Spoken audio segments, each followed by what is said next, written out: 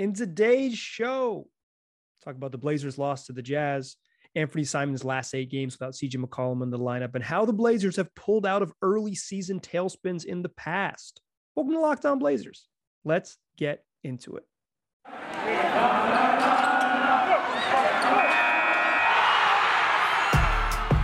You are Locked On Trailblazers, your daily Portland Trailblazers podcast, part of the Locked On Podcast Network.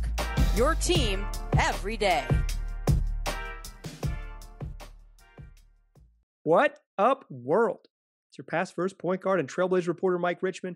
You are listening to another episode of Locked On Blazers, part of the Locked On Podcast Network, available wherever you get podcasts and now also on YouTube. We're probably not going to get our 2,000 subscribers by 2022. But that doesn't mean you shouldn't subscribe. We're still trying to get up to 2,000 on YouTube. We're getting close. We're pushing towards 1,800 and I would still appreciate the support, even if we're not going to hit our our arbitrary goals. Uh, still go to YouTube and subscribe to the show if you haven't already. If you're watching on YouTube, go ahead and subscribe. In today's show, we're talking about the Blazers' loss to the Utah Jazz shorthanded again against one of the best teams in the league. Not a lot to take away from this game, but we'll still break down what happened in that home loss to Utah. I want to talk a little bit about Anfernee Simons. There's a listener question about what uh, Simons has been like since CJ McCollum has been out of the lineup. We'll address Simons' recent play and sort of his uh, long-term outlook with the with the franchise, uh, whether that's been impacted and then finally, to close the show, we'll talk about Blazers' tailspins in the past and how they've sort of dug out of early season holes. It's they're not early season struggles not new to this team but how they have approached those early those um, and kind of turned those seasons around or or made the you know scrambled to make the playoffs in those seasons i think gives us um, an insight into what it's going to take for them to fix this particular season but let's let's just go ahead and get into it. We're talking fastest recap in the West. The Blazers lose 120-105 to the Utah Jazz yesterday evening. Um, this was at the Moda Center on Wednesday night. I'm recording this on a Thursday morning, so uh, we're a little bit late. But that's what happens when the games. I'm on the East Coast. The games go till 1 a.m. Had to wake up in the morning and do this one. Um, Blazers lose 120 105. They were down 14 too early. Looks like it was going to be an absolute rout, but they kind of rallied a little bit and were down 36 27 after one. Missed a couple open looks that would have even cut deeper into that lead. Didn't close the quarter super well, but we're right in it. Only down nine against a very good Jazz team. Found themselves down 12 at halftime. Uh, 60 or excuse me 10 at halftime 69 59 again still in punching distance they didn't or striking distance they didn't go away in this game. And then after three heading into the fourth quarter they're down 96 82 they never got they were down 14 at the end of three never got closer than 12 down the stretch. Just this was a talent game. They did not have the talent to stay in it. The Jazz finished with 74 points in the paint, outscored the Blazers 74 30 in the paint on route to a 120 105 win. That's your fastest recap in the West. The Blazers again without CJ McCollum and then seven players in the uh, league's health and safety protocols, including uh, Robert Covington and Jusuf Nurkic, Dennis Smith Jr., um, Ben McLemore, all guys who were playing on a regular basis prior to this, uh, part of part of the rotation. I guess Dennis Smith Jr. wasn't, but he still um, he would have played if he was uh, if he was available. in this one, Blazers, you know, without um, without all their parts, the Jazz, of course, without maybe not of course, but the Jazz without uh, Donovan Mitchell, who's dealing with a back strain, so they weren't whole. But the Jazz are still one of the best teams in the league. Like they're just they're straight up fantastic, and they looked like it early in this game. The Jazz got whatever they wanted going against the Blazers pick and roll defense with uh, Rudy Gobert. They just stopped looking at Gobert. That was basically the only reason Go- Gobert finished with 22 and 14. It's the only reason that he didn't um, have a bigger night is they just stopped looking at him. Uh, Hassan Whiteside, when he played, had similar success. Um, a very Whiteside night, 15 11. Dude is a production monster in 19 minutes. Jazz got 19 from Jordan Clarkson off the bench and a really good game from Rudy Gay, who hit three threes and finished with 21 points and six boards. Uh, on the Blazers side, 32 for Norman Powell. 32 for Damian Lillard, and then no one else had more than 14. Larry Nance Jr. finished with 14, 9, and 9. Assist and a uh, assist and a rebound short of a triple double to go with three steals. Uh, one of Nance's better games for sure. It just on the other end, they didn't have the size to match up. Uh, Blazers didn't get a ton of production off the bench. Anfernee Simons, seven points on three of 13. We'll talk a little about him in the second segment. Uh, six points from CJ Elleby, um, who also played real minutes. The big story for me in this game was not that Nassir Little and Tony Snell struggled, like whatever. It's uh, the Blazers just undermanned, and it's hard for them to the guys just to scale up and be uh, sort of bigger part of the offense. Uh, to me, the like the notable part of this game was Reggie Perry. Uh, the Blazers, a former second round pick of the Nets, who played about 25 games for the Nets in the uh, uh, 1920 season, uh, excuse me, 2021 season. Um, and he made his, his Blazers debut, played 14 minutes, finished with four points, three boards, and four fouls. Um, straight up, I think Reggie Perry's 14 minute shift uh, against the Jazz on Wednesday night was one of the feel good stories of the year. He played hard. They needed size. He came in and brought them size. Uh, you know, had a, had a little floater. Was uh, you know contesting Hassan Whiteside in the paint. Uh, got away with a couple just like straight up fouls, blocking Jordan Clarkson in the rim. Like played hard, played aggressive, played physical. Um, his other bucket was uh, caught it on the roll and kind of sidestepped. You might call it a euro step. It's more of a sidestep looping uh, to finish with his right and the left hand side uh, layup. Like um, I-, I said in the previous podcast that I kind of thought Reggie Perry was good, and then he wasn't in the NBA for basically a full year. So shows what I know. But Reggie Perry, 14 minutes. Um, truly a feel good moment. I, I like what is he like a six foot eight, 250 pound like backup center, like kind of an undersized backup center, but physicality to play in the NBA for sure. Showed a little bit of his touch, was really physical and played really hard. Um, in a loss to a really good team, Reggie Perry stood out to me, even on a night where Norm Powell and Damian Lillard uh, each had 32 and were really good. Um, you know, Norm played too many minutes, 43, but what are you gonna do? He was um, he had it going, and the Blazers were kind of within within the range to um, to make this a game unlike the game, the previous game against Dallas Mavericks, where I was really hard on the Blazers and did not think they played hard enough and thought they just kind of um, kind of quit after things went went their way. I did not come away from the Jazz game feeling that way. I felt like the Jazz, you know, the Blazers are super super duper shorthanded, and the Jazz are really really good, and the Blazers were kind of vaguely didn't they didn't get punked like they didn't get punked it was a talent game the the, the jazz are just just had more talent than them and they didn't have um, the right parts this wasn't like just not rotating over and letting Dwight Powell and Kristaps Porzingis get dunks. This was just like not not quite good enough. I thought early on the defense was really spotty. Um, they changed things up and started being a little more uh, handsy with Gobert on his rolls, and then the Jazz just straight up stopped looking at Gobert on his rolls. That really helped the Blazers scheme.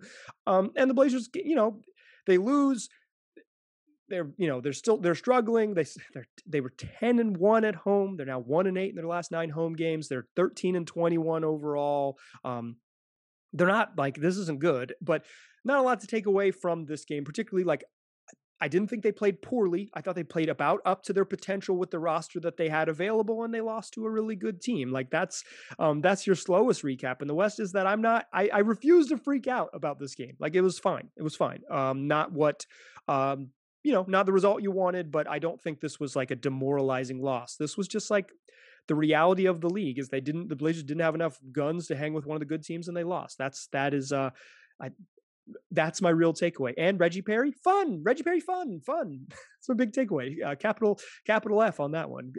Reggie, like this is where we're at in the season is that four and three from a backup center in 14 minutes. I was like, hell yeah. I'm sitting on my couch at after midnight, like, way to go, Reggie. Um, but uh, other than that, I don't think there was a, a, lot of major takeaways from this game. If there is a major takeaway is that Anfernee Simons hasn't stepped into the void left by CJ McCollum's absence. Um, a listener asked a question about uh, Simons' recent play, and I want to spend the second segment kind of discussing where I'm at with Ant and his development and and et cetera, et cetera. So that's what we'll do in the second segment. Before we get there, though, I want to tell y'all about Truebill. Do you know why tri- free trials renew without your consent? It's a business scam. It's out to get you. So don't let greedy corporations pocket your money. You can download Truebill and take control of your subscriptions. It's a new app that helps you identify and stop paying for subscriptions that you don't need, you don't want, or simply forgot about. And on average, people save up to $720 a year with Truebill. Because companies are making subscriptions harder and harder to cancel, Truebill is here to make it incredibly simple. You link your accounts, and with one tap, Truebill will let you cancel your unwanted subscriptions. And if it's more than one tap, a Truebill concierge is there when you need them to cancel the subscription so you don't have to. Uh, I went to uh, truebill.com slash locked on NBA. I downloaded the app on my phone and less than 15 minutes, about 10 total minutes, maybe 12 if I'm being honest. I had downloaded the app and had all my subscriptions right in front of me on my phone. Super easy to use, super useful. Um, you know, get get your eyeballs on what you're paying for, decide what you want to keep and decide what you don't. Go to truebill.com slash locked on NBA right now. Start canceling today and don't fall for any more subscription scams. Go right now. Truebill.com slash locked on NBA could save you thousands a year. That's truebill.com slash locked on NBA. All right. So we talked about Blazers loss to the Jazz and your fastest and slowest recap in the West, your normalist speed recap in the West. I'm actually doing that recap in the West from the East. Probably should have changed the branding, but that's what you get. Um, in this segment, though, it's a spillover from the mailbag, and one that I thought deserved some some more attention, and I thought it would be relevant after this game, and quite frankly, it was. Anfernee Simons goes, you know, uh, struggles in this game. He wasn't bad necessarily. He just wasn't good. You know, he just he just he didn't shoot it particularly well, and it continued to trend for Simons. And and so it it follows a question from Family Twine on Twitter at Family Twine. Uh, family Twine is a family podcast. Um, uh, it's parent and child, teenage child podcast. Um, they, they do it weekly. It's um, it's you know heartwarming, quite frankly, um, if that doesn't embarrass one of the co-hosts. Uh, and that question from a, a, question from Family Twine was: Anfernee Simons is struggling the last eight games without CJ. And has really hurt the team in the short term. Do you think his role with the team has changed long term? I think the simplest answer to this question is no. But let's unpack Anfernee Simons' struggles a little bit. Um, let me say up front that I think um, I, th- I think the thing Ant does score with the ball in his hands is the most valuable thing in the league. So some of Ant's deficiencies don't matter as much because he's really good at the most important thing in the league, which is go get buckets. Um, you know, there's other stuff that matters, and I think Ant's fit on the roster um, kind of exacerbates some of his struggles, but go go get a bucket and is capable of, and it's one of the most valuable skills in the league. But Simons is no doubt struggling over his last eight games. It doesn't really play out in the averages. He's uh, averaging 11.6 points and 2.1 assists, but he's shooting 34% from the floor, 34.9% from three, and 93% from the stripe. Prior to this eight game stretch, without CJ McCollum in the lineup, when there's just been a void and the Blazers need him to step up, you know, 11 and two on 34% shooting is like it's that's not good we can all agree. We can just look at the numbers and know it's not good. And I think you've seen Ant with the consistency problems. You know, there's a night where he goes for 26 against the T Wolves, and then a night where he goes um, for two, or, or excuse me, scoreless against the San Antonio Spurs.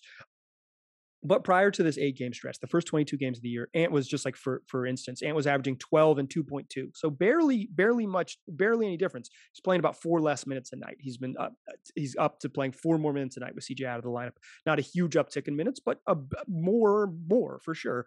Um, and his averages are you know roughly the same, but he was just shooting way better. From the first 22 games, 46% from the floor, basically 45.9% from the floor, 38% from three, and averaging 12 and 2.2. So he's averaging a little bit fewer points, like slightly fewer points, slightly fewer assists, but it's just it's a shooting averages thing. According to cleaningtheglass.com, the uh, subscription stats service that provided by Ben Falk, former NBA uh, stats guru with the Blazers and, and, front office executive with the Philadelphia 76ers, uh, they do like a rolling 10 game average. So like just, it's like just basically like how guys have compared to the league average and also their season average over 10 game intervals. And over the last 10 games, Anfernee Simons' effective field goal percentage is below league average and below his season average. His assist percentage, which is like the percentage of assists when you're on the court, the percentage of assists you account for, um, that's down. His assist to usage percentage higher, you know, based on how many times you have the ball and how many uh, uh, possessions you finish versus how many assists you make. That's also down. Like he just he's just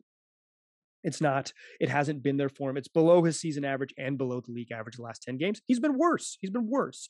And there's been this void for him to step into without without um CJ's without CJ's minutes, right? Like there's been space for Ant to step in and he hasn't done it. He hasn't been wholly worse. And he's had moments in games where you're like, oh, still a bucket.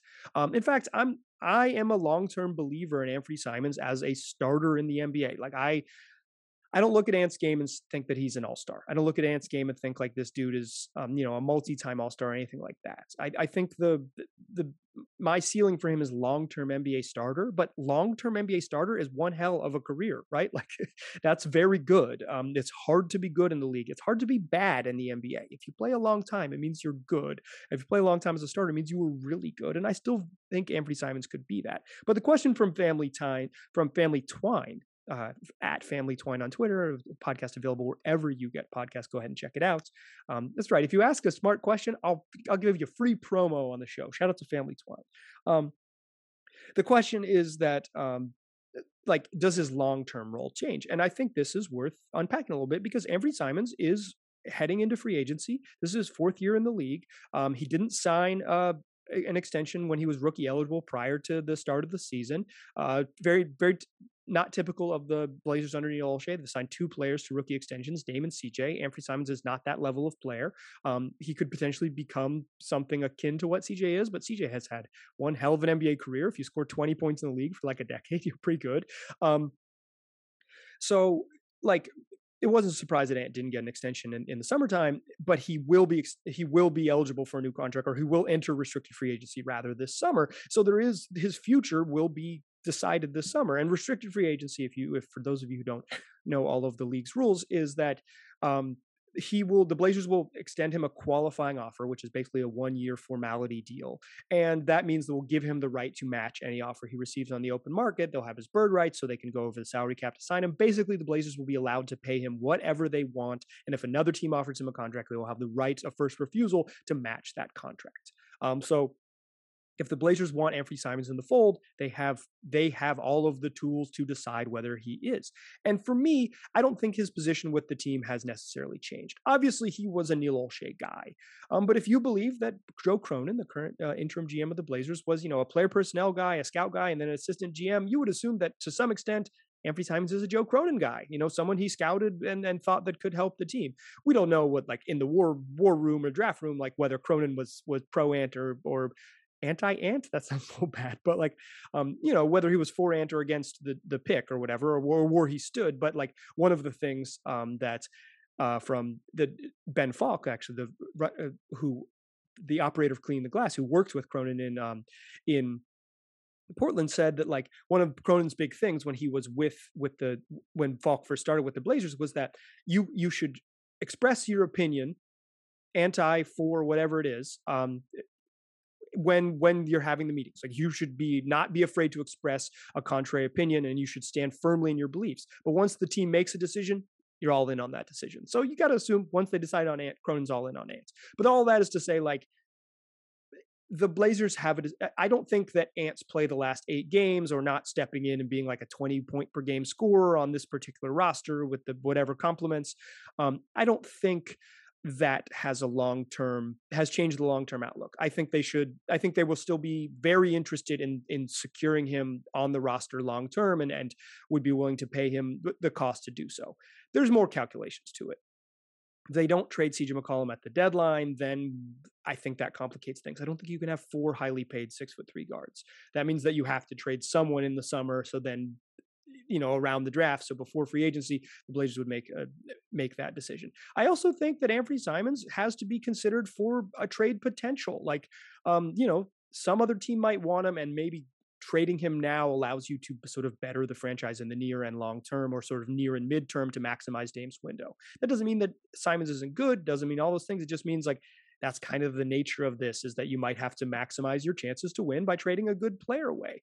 Um, I, kind of still see Simons as, like I said, as, as like a as a good basketball player. He certainly hasn't stepped up in this to fill this void. He was also eh, coming off. Uh, he missed three games with an ankle injury, and his numbers have been down after an ankle injury, which you know can happen in the league. Little bumps and bruises can can you know they pile up, and sometimes just uh, shooters don't shoot as well when they've got little um you know nicks and bumps. So bruises, bumps and bruises along the way. It's the NBA season is long and challenging. I don't think eight games will define the season, but I think Family Twine, it's right of you to recognize that Ant hasn't been he hasn't stepped up and been like a been the star that maybe some think he can be in this eight game stretch. He's been a little bit worse. Some of it is the roster stuff. I think if Anfernee Simons didn't play alongside Norm and didn't play alongside Dame, one, there'd just be more ball for him to have, and two, his defensive deficiencies and maybe his um, his passing deficiencies, because I don't think he passes off the dribble very well. He's got he's gotten better at just basic reads, but his like high level passing off the dribble, which is the mark of like a really good NBA point guard. and doesn't have that quite yet.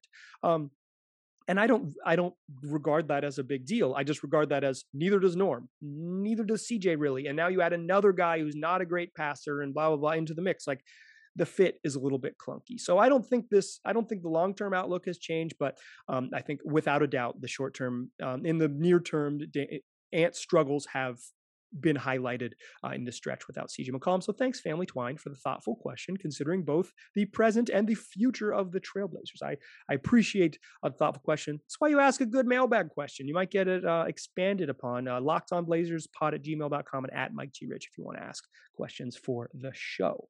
In the third segment, I want to close out the show talking about previous tailspins for the Blazers.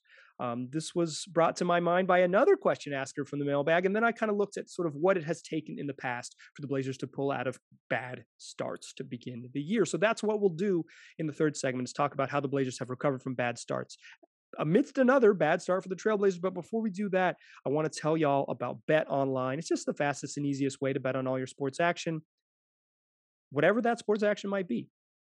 NFL is entering the final weeks of its regular season and then the playoffs college football playoffs are here and then we'll have the national championship game as well as the very end of bowl season.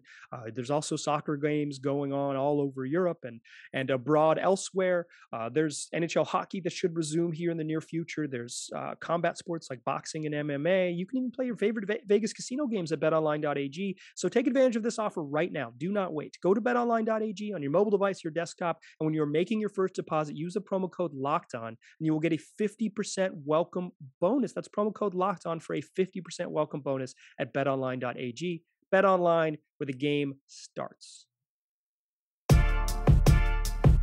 Still a pass first point guard. Still Mike Richmond. Still listening to Locked on Blazers. We talked about the Blazers' loss to the Jazz. We talked about Anfernee Simons' last eight games where he's been just a little bit worse, and it makes it it, makes you kind of wonder about what uh, his his future might be with be like with the team. I think it has very little impacts, but I I agree with with the question asker that certainly Anfernee Simons has been notably hasn't stepped into the void created by CJ McCollum's absence. But uh, what I want to talk about in the third segment to close the show is bad starts for the Blazers. They're in midst of another bad start. They just haven't been good. you you've seen it, you know it. Um, you know they're 13 and 21. But this isn't the first time that they've started poorly, and and and I want to look back at some other bad starts and kind of how they've pulled out of those tailspins and apply that to this lens. So let's let's jump in the not way back machine, but a little bit back machine, and then we'll kind of jump to, to the present and look forward for this team. In 2015-16, that was the first year post LaMarcus. The Blazers started 14 and 20 and were 15 and 24 on January 8th. They're bad. Then they ripped off an 18 and 4 stretch from January 10th to March 1st, and they finished the year at 29 and 14 to finish with 44 wins and make the playoffs as the fifth best team in the West. No trades, nothing special. This was just a team that kind of found itself in the middle of January and was really good to close the year, just finished red hot. Um, th- th- that team was trying to tank, and they didn't do anything special. They just it kind of gelled at some point in in in the middle of early January, second week of January, and they took off an 18 and four stretch. The trick to that season: get hot and stay hot. Not that simple, I would say, but that was the trick. The following year, though, the Blazers started right back there again. They were 14 and 20 to begin the 2016 17 season, and 23 and 32 on February 13th. Excuse me, 23 and 33 on February 15th. Um, they traded for Jusuf Nurkic. They lost that game. They were 23 and 33, but they traded for Nurk on um, February 15th, and they closed the season 18 and 8. What they did to pull out of this tailspin, they traded a starter and quite frankly, they traded a starter knowing that this that not that they were trying to make a playoff push. They were kind of kind of saying this season stinks. We're you know not eight, we're nine, ten games under 500 when we're uh, making this deal. They traded starting center Mason Plumlee. They they took a flyer on a former lottery pick who was out of the rotation in Denver and kind of um, unhappy with the situation in Denver. They got a you know Plumlee was considered uh, the better player in that deal, right? So they got a first round pick for their troubles. And it was one of the great trades in, that the franchise has made over the last decade. Nurk obviously re-energized the franchise, and they were really good for the following two seasons. And the, um, you know, and they, they, they get a first round pick for their for their struggles, anyways. Um, they ended up packaging that pick, blah blah blah blah. But so what did they do in 2016-17? They traded one of their core parts. Plumlee, who had been a big part of their resurgence, the 44 win season a year ago, just wasn't up to it. He was their most tradable part at the time. They made a trade that was risky. Let's let's let's be clear, risky. This was not a trade that was seen as the Blazers improving. It was a trade that was seen as the Blazers admitting they weren't good and just leaning into that and Nurk saved their season, 18 and 8, and they finished 41 and 41 and were um, summarily swept out of the playoffs by finished eighth in the West and were swept out of the playoffs. Like it didn't end rosy, but it was a trade that got them from out of the playoffs to into the playoffs and kind of changed their projection over the next two years. In 2019-20, the Blazers started 40 and 20 again through 34 games. Uh, they're through 35 games now, basically the same same record. Um, the Blazers were 29 and 37 on March 10th when the season was uh, halted due to the coronavirus outbreak. Um, so they weren't, they, it didn't exactly work for them. In fact, in January, again, they made a trade. What do you do when the season isn't going um, well? They made a trade. It was a, a theme of the Neil Olshey era. They made in season trades, usually minor trades, um, always minor trades, let's be real. Um, and they traded for Trevor Ariza and Caleb Swanigan. They sent out uh, Kent Bazemore and, uh, and, uh, another big I'm forgetting now Anthony Tolliver. Um, should have had Tolliver down in my notes. Forgot about forgot about AT. Um, and they they traded for Ariza and Swanigan. Swanigan immediately played. Ariza immediately started, and they they finished that run uh, till March 10th, uh, 10 and 11. They got to the bubble. They won games in the bubble. The Memphis Grizzlies didn't win games in the bubble. Grizzlies went two and six in the bubble. I totally forgot about that. Uh, then they played a head-to-head game play-in, and the Blazers won a one-game play-in and, and made the playoffs. Like they absolutely scrambled for their lives. And so I think that year, that 2019-20 year, seems like a reasonable. I mean, it's it's like a it's a bizarre year, like the bubble and the pause and all those things. But like they weren't good. They made a trade. They were marginally better, and then they absolutely scrambled to make the playoffs and finish eighth and got lost in five games to the Lakers. Like, um, the, like this was this is sometimes how it works. It's like you make that scramble and and and you end up, you know, you get there, but the trade you make only marginally improves you. And so I kind of think where the Blazers are is somewhere between that like 2016 17 and 2019 20 starts where they're not they're clearly not good it's not working out you have to do something you know you have to do something. But do you do the thing that they did in 2016 17 where you trade a starter and you admit that maybe this isn't going to work out and you take a risk?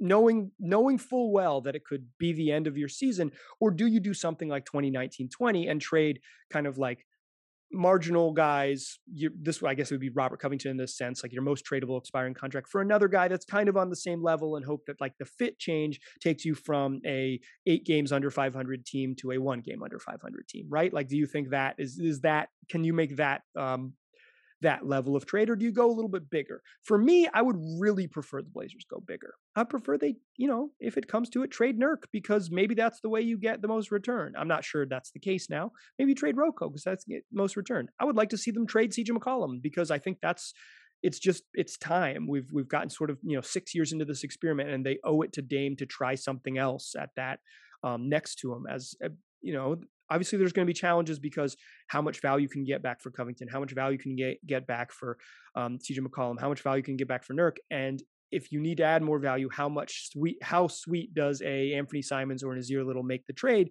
And if you do that, is it worth the trade off? Like, obviously challenges, but I think why I wanted to go in sort of the the not so far back machine is to say like in the past the Blazers addressed these by either making a, a, a trading a starting level player for a risk or trading sort of their mid-range uh, contributors, you know, like the, a role player for a role player, and hoping that a change in role players would would do it. A change is, I, I think, a trade is inevitably coming for sure. Um, I don't know when. You know, the trade deadline is February 10th, and I would say deadline spur action. So closer to February 10th makes sense to me, uh, like it would happen closer to then than more more recently. But like you know the guys are on the phone. I think the COVID stuff really makes trading trades difficult because every NBA team is trying to kind of figure out what they are and then just field a team, and so you're not thinking about big big structural changes, big big changes. Well, um, eh, you know a lot of the league is dealing with COVID outbreaks and replacement players and guys on ten days, et cetera, et cetera. So I think if you look at the Blazers' past track record and you look at where they are now, a trade is coming, and a trade is the one that salvages the season because that 2015 16 year was an entirely new team and they just kind of found themselves and took off. I don't think they're going to, I don't think this group you can watch and say, yeah, they're going to be 29 and 14, you know, 15 games over to close the year. Like they're going to just take off the last 33 games and like look like a legitimately good team. I don't think it's going to click for them. It might. They probably have enough talent to get somewhere close, but I think their def- defensive deficiencies um, and just their size, like they don't. Have, that team was bigger on the wings. Gerald Henderson and Mo Harkless and Al-Farouq Aminu, better complement to what they have now on the wings um, with Damon CJ. Like it just, it is what it is. Uh, roster construction really matters. So I think a trade is coming. I think it looks like those um, um, those other years. And for me, I hope it's a trade of a. I hope it's the big trade. I hope they take the big swing. I don't have any inside information, nor would I like. Um, I wouldn't. I wouldn't. I'm not going to fake the funk. Like I'll tell you when I know stuff here. Um, so I can't tell you when it's going to happen or what it might look like. But I know that the Blazers have pledged to be aggressive. Um, and part of that, the subtext of pledging to be aggressive is trading CJ McCollum if they can. That's just an, an, inevitable part of where they are. It might also mean trading Ant. It could mean trading Nods. It could mean trading Nurk and Rocco. I think it could mean trading literally everyone on the roster, not named Damian Lamonte, Ollie Lillard, and where they are now versus where they want to be. Like they, they still want to be a competitive team. Um, they just have to make a decision. Do they take a risk that might make them not competitive this year they enter the lot, they, you know, get a lottery pick and try to figure it out? Or do they try to kind of salvage this season and get back to playoff level? For me, I don't think a low level playoff seed matters, but I don't talk to Damian Lillard every day and know what his choices, like his preferences are. I don't talk to the Vulcan, I don't talk to Bert Kolde and the folks at Vulcan and Jody Allen and know what they want. If if other people want like some of the preferences of the other actors and, and Dame and Jody for sure, the biggest ones will kind of dictate what they do. But for me, I would say take a risk, be okay with being bad this year because you're already bad as is. Go get a lottery pick and try to make sure that whatever moves you make make you better for next season. Like right away better. You can't three years down the line doesn't matter as much as like next next fall. You need to be try to be a competitive team again because Damian Lillard is one of the best players quite frankly, to ever play in the NBA. And you gotta, if he wants to be part of the team, you you got to maximize your chances with him. Um, if it comes to a point where that's not going to work, then we'll talk about moving on from Dame and those trades. But I think for the for the near term, for this trade deadline, um, you owe it to Dame and whatever to try to be as good as possible for next season. And I, to me, I'm at the point where this season you might just say it's a wash. We're not going to do it. Let's take a real risk. Let's go find a Jusuf Nurkic out there that could really change the trajectory of the franchise. That's how they've pulled out of tailspins in the past. For me, that's the direction that they need to be in this season as well. All right, that's going to do it for today's show. tomorrow's show, Jason Quick of The Athletic joins us. Uh, we're going to talk about um, you know, quite frankly, his beef with Dame, um, or Dame's beef with him, I think is actually the much more accurate state. Jason doesn't have any beef. Jason is as um, has caught the ire of the Blazers point guard. We're gonna, I'm gonna just straight up ask him what the deal is with that. So you will not want to miss that show. Make sure you are listening to that one. Jason also just provides great insights on the team. So make sure you're listening and tell your friends to do the same. It's available on YouTube. Go subscribe to the YouTube channel and wherever you get podcasts, just search Locked On Blazers. We'll be right there waiting for you. Appreciate you listening. Talk to you soon.